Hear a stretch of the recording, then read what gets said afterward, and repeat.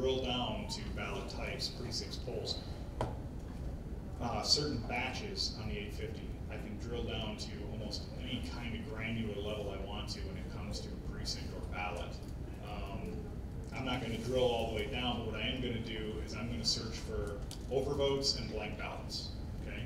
So I'm gonna check those on, I'm gonna apply my filter, and it's gonna pull up only the ballots that meet that criteria, okay? So you can see it pulled up four ballots, I'm gonna right click it, and I wanna say view all ballots. And it's gonna pull up those ballots on the screen for me, and it's gonna tell you up here your ballot exception. So right now, this one has, this is a blank ballot, it's five hundred votes. So right here, it says blank ballot, so I can look to see, and I can scroll down. And that is a truly, go to the back, that's truly a blank ballot. Okay, so what I can do is say, okay, approve that ballot. Again, I can have eighteen clients doing this, right? So I can say, you guys take precinct whatever through whatever, and you take, and they can actually go through and do this adjudication on multiple clients all at the same time. Okay, uh, Utah does that. Everything Most- they bring in. Sorry, Go ahead. most time they have like a thirty-two inch monitor, so you don't have to scroll down, so you can see the whole ballot without having to. Clearly, you'll have better monitors than my little laptop here, so. A lot of times we'll turn on, uh, portrait mode, so you can see the full thing. And there's a little ballot notes box in the left-hand corner, so if you wanna put in any notes in there, who, you know, who was the team, they can initial it or whatever, you can do that. Okay, so once I approve that ballot, all that means is that I looked at it, I approved it. I didn't commit any results or anything yet, I'm just saying, I look at it, I, only an admin can actually commit the results, the changed results. What I mean by that is if I hit next ballot down here at the bottom, okay, here's a blank ballot, but you can see there's voter intent.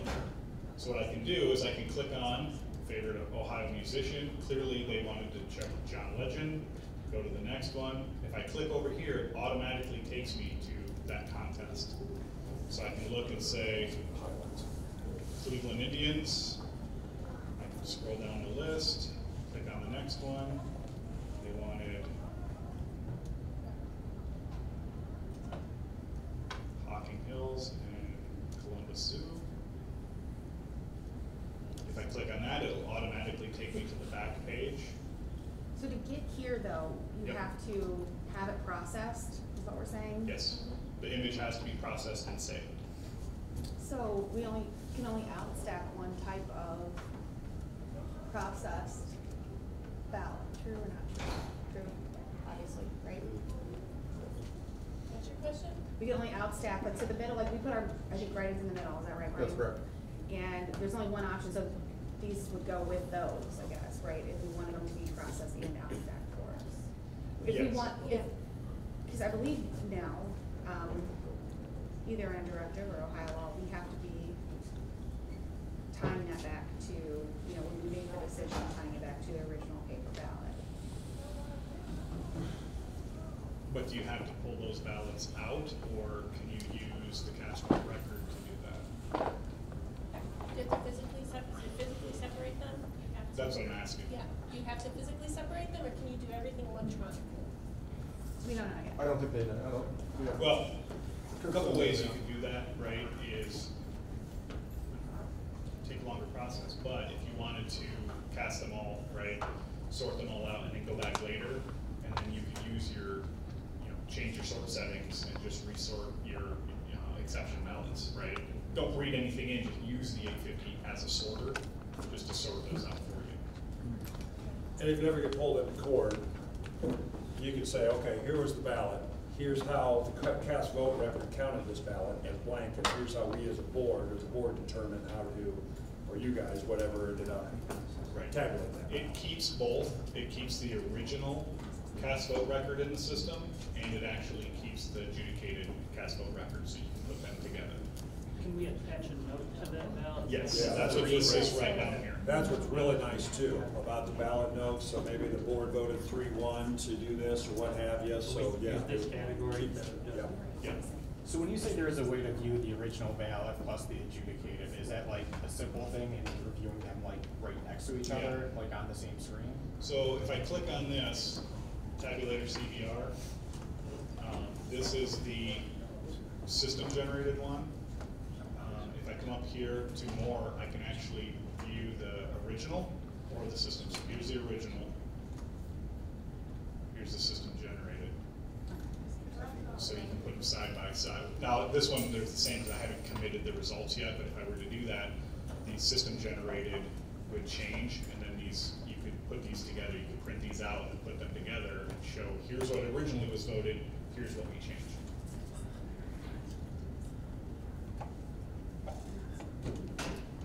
And honestly, talking through this, some counties have had heartburn, you know, when it comes to this piece of the puzzle.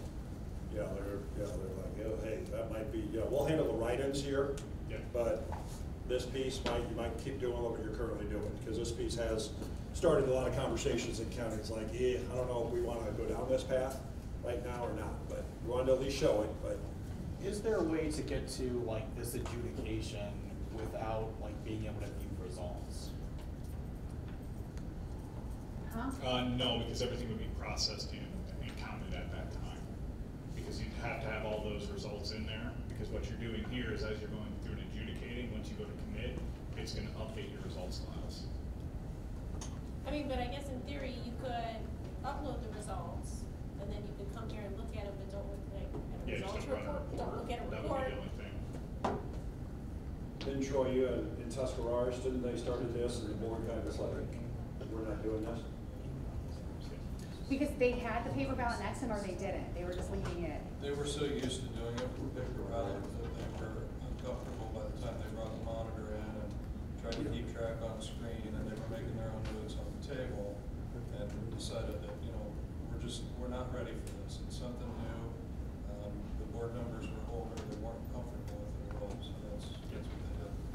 And again, this is something that you can turn on or off, and that's totally up to you, obviously, state law, but, um, you can turn it on and off and continue to do it the way you're doing it now. It's just an option that you can use. Okay, so, uh, I can go ahead and approve that ballot. If I go to this one tells me up here I have one overvote. Okay, so I can come down here and look to see, okay, well, this is a ballot, and here's my overvote right here. So I can go to it, and it's gonna bring up that overvote. So. So there's my overvote.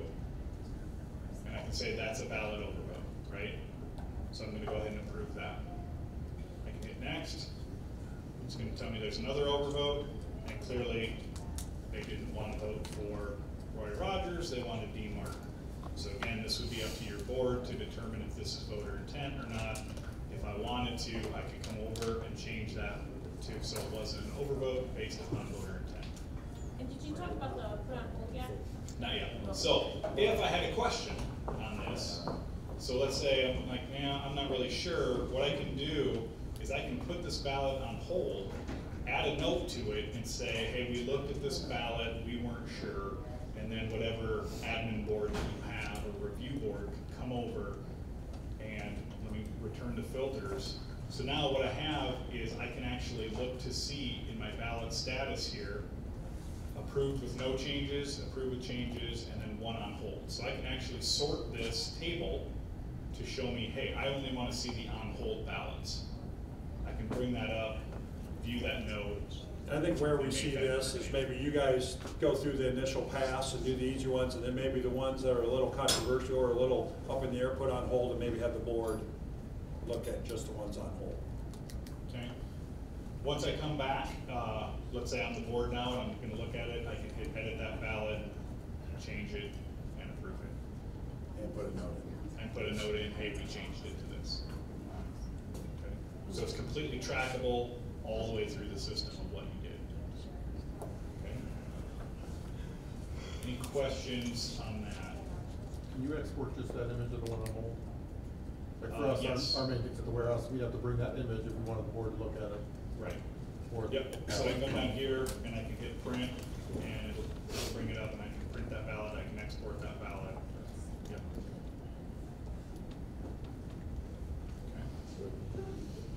Once I'm done, um, then what I would do is I would have an admin login right? Because again, in Electionware we have all of those rules, do you guys use those now, like ballot producer and media creator and all those?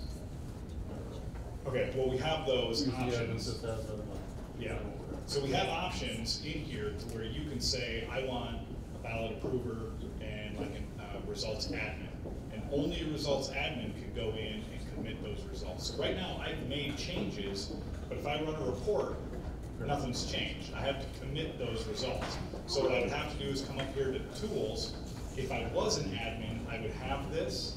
If I wasn't, this would not appear.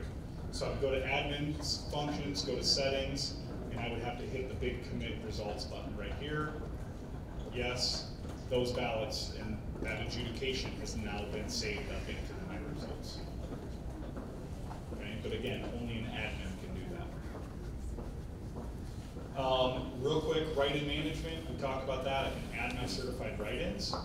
If I wanna go to write-in review, um, I can hit apply filter, and it's gonna bring up all the write-ins that were processed through. So I can look to see what the write-ins are, I can filter by contest, precinct polls, by machine over here, and bring them up. Again, in Johnson, they had a whole team doing this on six, all at the same time, just assigning write-ins, just going down and assigning write-ins. Um, so if I have a write-in that's certified, and I already have it plugged into write-in management, I can drop this down and that name will already exist. So I can just start going down and plugging them in. If I don't have that, I can come here and I can sit, add a new name, do Doris Day on the fly,